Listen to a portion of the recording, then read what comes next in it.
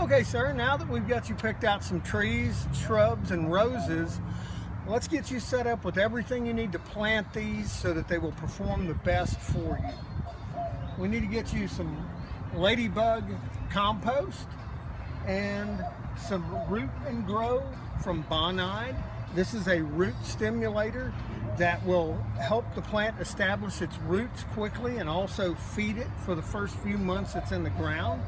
This also gives you a two-year warranty from Bonide that your plant will survive.